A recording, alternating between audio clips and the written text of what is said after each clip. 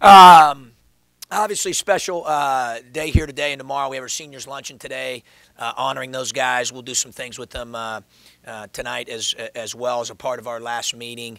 Um, then we play the game senior ga- uh, senior days tomorrow night uh, against Nebraska. four just you know unbelievable people. You know, I, I, love all four guys.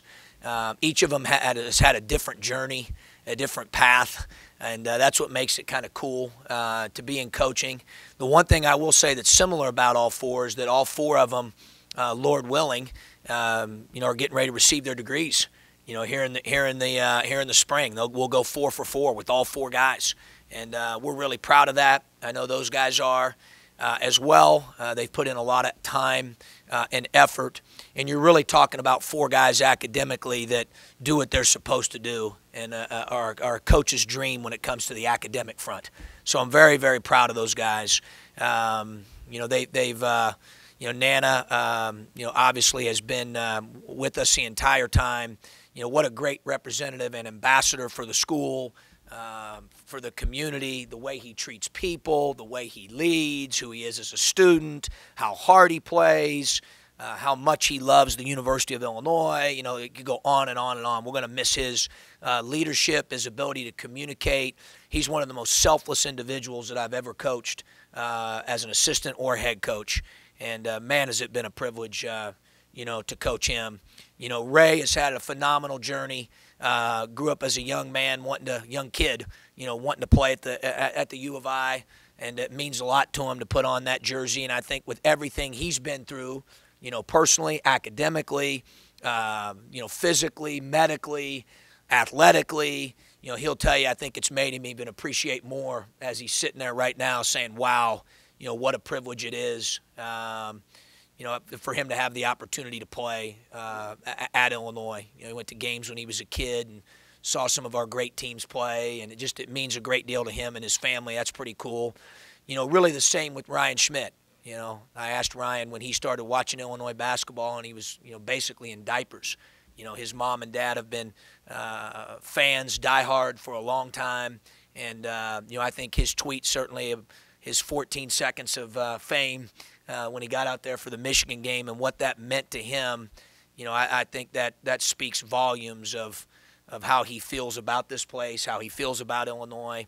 And then Ahmad, you know, obviously sacrificed a great deal, set out one to play one, um, to play uh, for his state school, and uh, to be closer to home, to have the opportunity to play. Ahmad is a terrific person, a great teammate, and uh, has been willing to adjust to to how we do things with uh, with open arms. And Ahmad's really, you know, I always tell him all the time if you have one uh, weakness, it's that you care so much about uh, other people and probably worries about that even to a, to a fault. Uh, but if that's a weakness, then that's a great one to have. Um, you know, he really worries about his teammates and are they taken care of, whether it's during a game on the court or off the court. He really cares about other people, and you got to give his mom and dad a lot of credit, certainly, uh, for how they've you know how they've raised him uh, for him to have that type of mentality.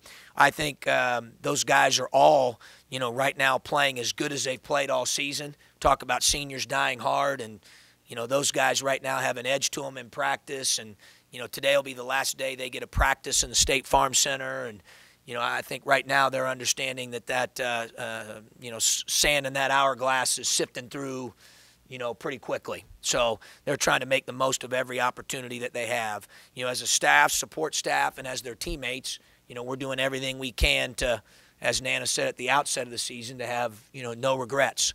Um, and, uh, you know, we've operated that way all year with no excuses and been willing to adjust and adapt. And, you know, a lot of it starts with those guys and their leadership. But, you know, I'm really, really, uh, really proud uh, to have had the opportunity to coach – you know, all four uh, seniors.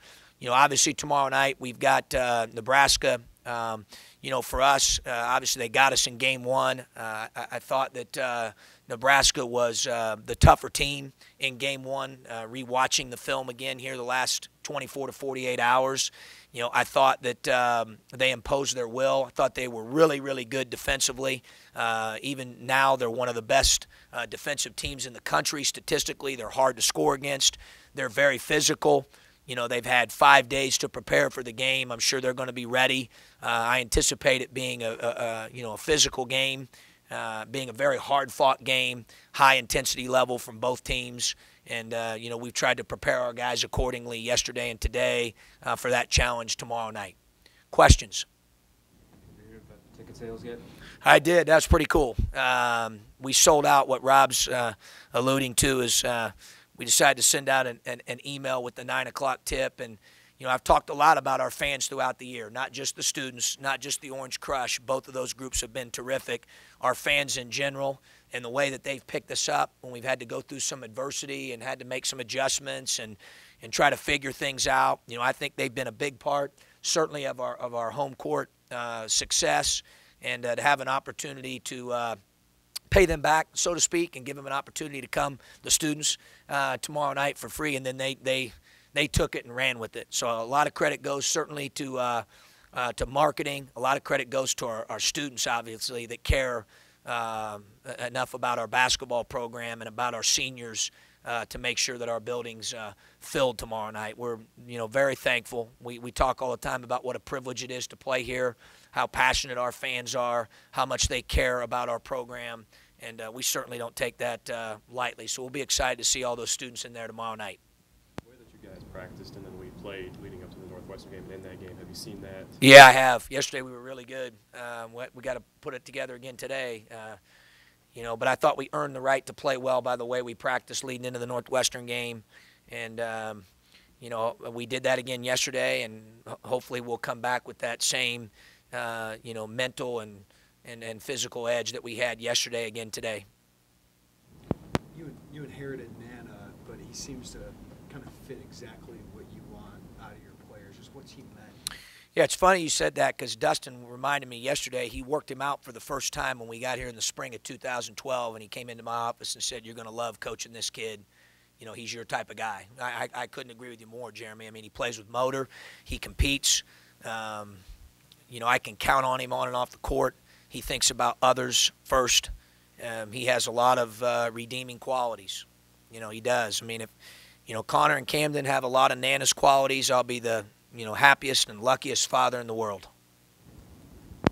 What do you think of that? When are you going to be a father again?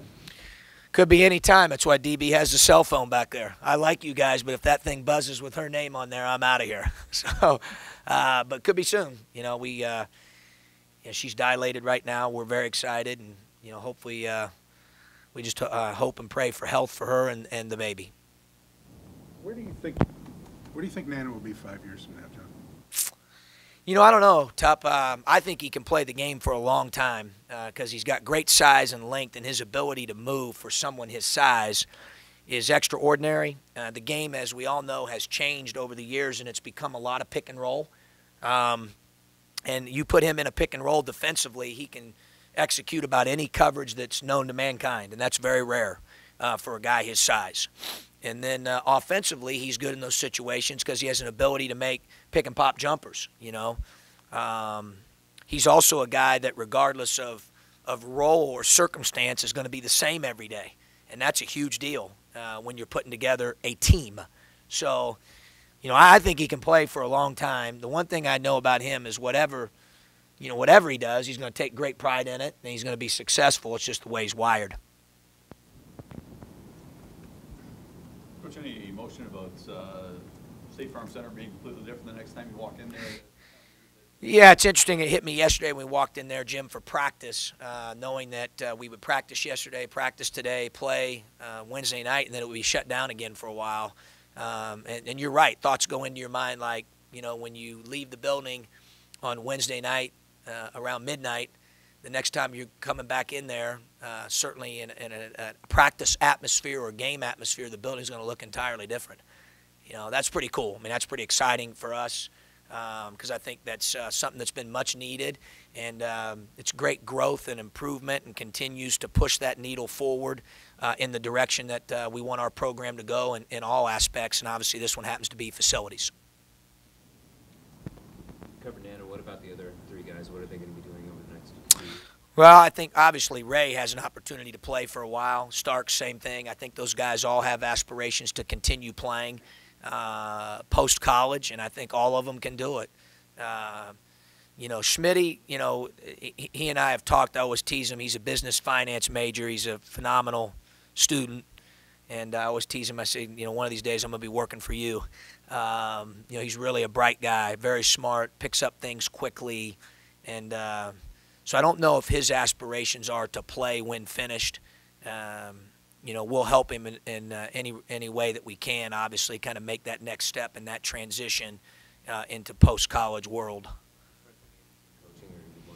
No, I think he wants to do the. Uh, he's got the degree in business finance, and that's what he, he wants to do. You know, uh, he'll be he'll be crunching numbers. So I'll, I'll have him uh, maybe outsource him as a uh, DB. We'll use him as our analytics guy.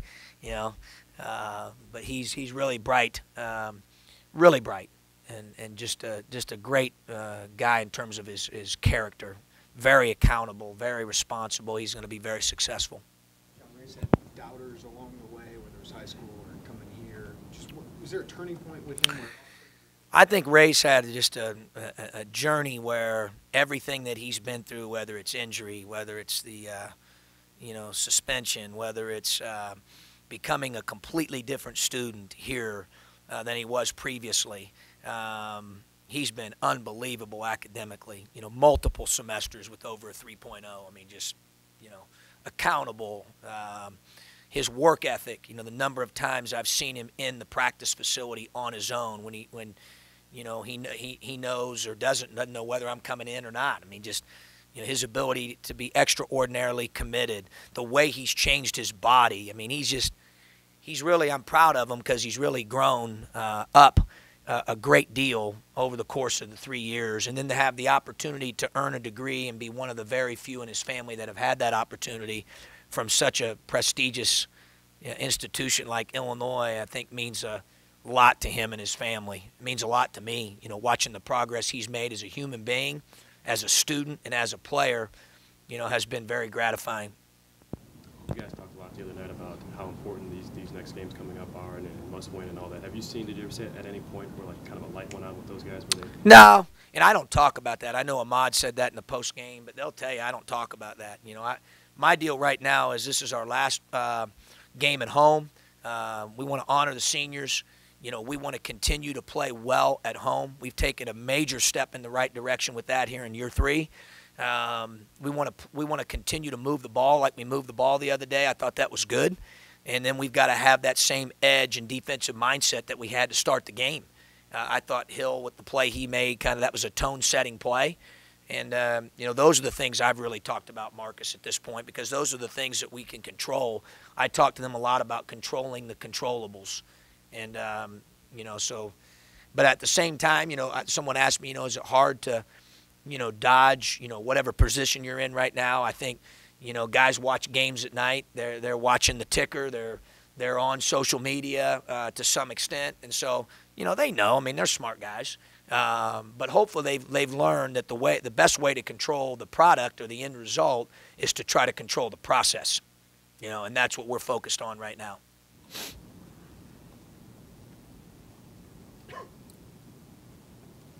Any questions from the phone lines?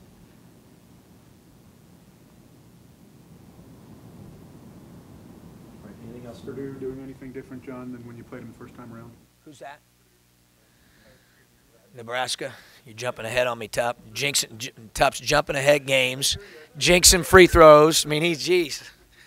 Um, you know, I, I would say the the biggest difference, if you look at their at their uh, roster, Tup would be that they've had a lot of roster change from game to game in terms of who started, rotations that they've played. In terms of their scheme defensively, I think they're terrific defensively. You know, one of the country's best, one of our league's best with their man defense. Um, you know, offensively, obviously, Petteway, Shields, terrific offensive players. You know, Pitchford uh, is, is a little bit of an X factor because you don't see very many fives that shoot and make threes. You know, last year he shot them at 41%. We know what he's capable of. You know, we're not, we're not, uh, you know, regardless of what a stat sheet says, we know what he's capable of. Um, you know, they've had other guys. I think the freshman kid Smith at the point has started for him now here recently. I liked him going into the first game. I think he's continuing to get better, as well as Fuller. Smith gives them physicality. Rivers had eight points and seven rebounds in game one, gives them a lot of energy.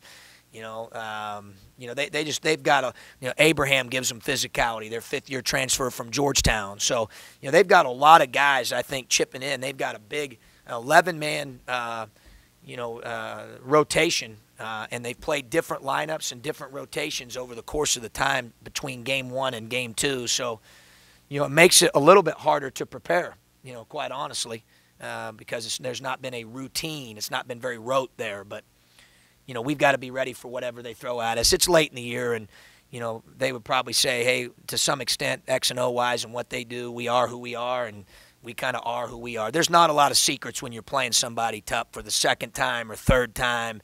It's late in the year. I mean, you know, you can wrinkle or adjust a thing or two, but at the end of the day, players got to make plays, and you got to play with some toughness. Jim, Talk a lot about teams gelling or different versions of teams. How, how do you feel like this team? Well, I mean, obviously, I thought the other day we took a step in the right direction, offensively and defensively. I thought that we, uh, both of those things, were working very well together. I thought we played together. Thought we were very unselfish. Thought we guarded the ball together. Thought we moved the ball together. You know, I thought that was a huge step in the right direction for us. That's how we had practiced for two days leading into it. It's how we practiced yesterday. Um, so hopefully, you know, some of those things that we've been hitting them with, Jeremy, even through the midst of some things that were kind of out our out of our control in terms of, you know, roster change here and there, that some of those things are starting to become habits, you know, um, that they're relying on uh, to be successful in terms of how they play the game. With your health maybe the emergence of Colbert and and Morgan recently, as excited about your depth? Yeah, those guys played well. We're going to need everybody. It was it was the first time since uh, before before Ray's injury, um, which was Game Two of the Big Ten schedule, that we've had a nine man rotation that was totally, you know, healthy. I said that I said that before the game and after the game. No wrap on the hand, conditioning up to par.